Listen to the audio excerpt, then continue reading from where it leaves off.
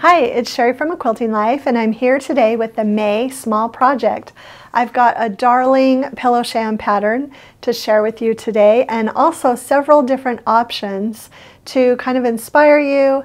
I've got an easier way to actually make this a little bit more simple using the pattern, and also just wanted to show too, uh, used fat quarters for the backing. So I hope that you'll enjoy today's video and get inspired to make some home decor pillow shams.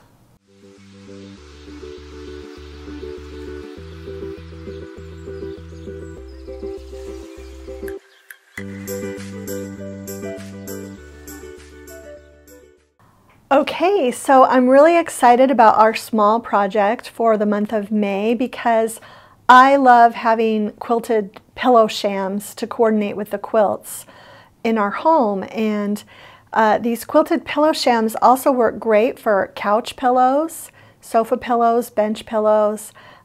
So this month's pattern is a really, really fun one.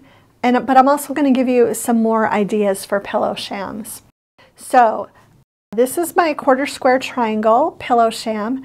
This actually originally was published in a Quilts and More magazine where I, we did a series of projects. There were three designers and they picked out the fabrics, the magazine staff is who I'm referring to by they.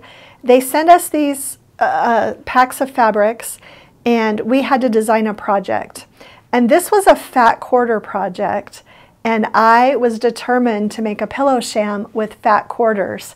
And you kind of want to use everything that they give you. This was actually 10 fat quarters and I was not only able to make the pillow front, but I was also able to make the pillow back by using strips of the fat quarters pieced together for my back. So I thought this was really fun.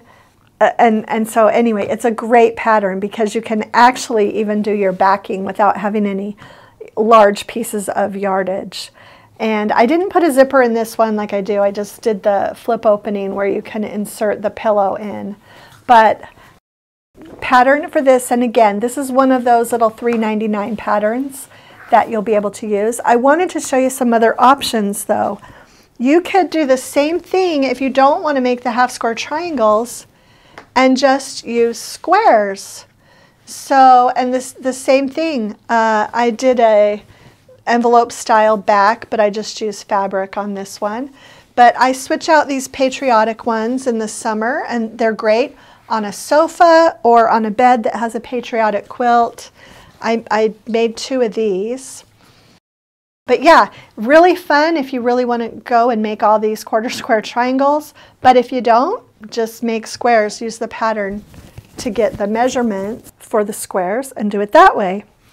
I also, I also have a Christmas version. And I, I switch these pillows out and use the same pillows. So I actually, this has been up in the closet from when I used it at Christmas time and it's still a little bit too early, but I'll just take the pillow form out of this pillow and the other one that matches it and use them for these when I place them out this summer. So I hope you'll enjoy this month's uh, little small pattern. I have two other pillow shams to show you that don't use this pattern, but I thought this was a good place to kind of share them anyway. This first one is in my Hearth and Home quilt book, and it's just another great idea. It's a little bit smaller, you can see. I did go ahead and put the zipper pillow back in this one, and I quilted the back. And that's another option I wanted to give you. If you want your pillow shams to have even more body, you know, quilt the backing fabric that you're going to use. Uh, but this pattern, we'll put up a link. It's in my Hearth and Home quilt book. And I, I love getting this one out. Actually, right now I've got it used. And then finally, just another option. This is another pillow sham that I did a long time ago.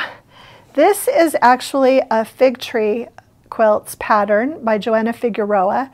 I believe it's called Stems. I'll get the link and put it up in the uh, description to this pattern, but I made a full-size quilt of this pattern for her several years ago, and I had some extra blocks. And so I put them together in two rows, and I put some fabric in between just to make it the size I wanted to in a small border and made a pillow sham. So uh, this is just a really fun pattern that you can do that with, but you really could do that with any other, I feel like vertical type block where it's a, a rectangular shape with the long ends down. It would be just really easy. So anyway, I hope that you'll enjoy this month's small project pattern and also get some inspiration for some other pillow shams that you can make this month. Okay, so that's it for the May small project. I hope that you will enjoy making some pillow shams with this pattern and also that maybe you got inspired with some other ideas for pillow shams that you can make. All the information is in the description below. And if you enjoyed today's video, please share it with a friend, hit the like button, and subscribe to our channel if you haven't already. Thanks so much for stopping by.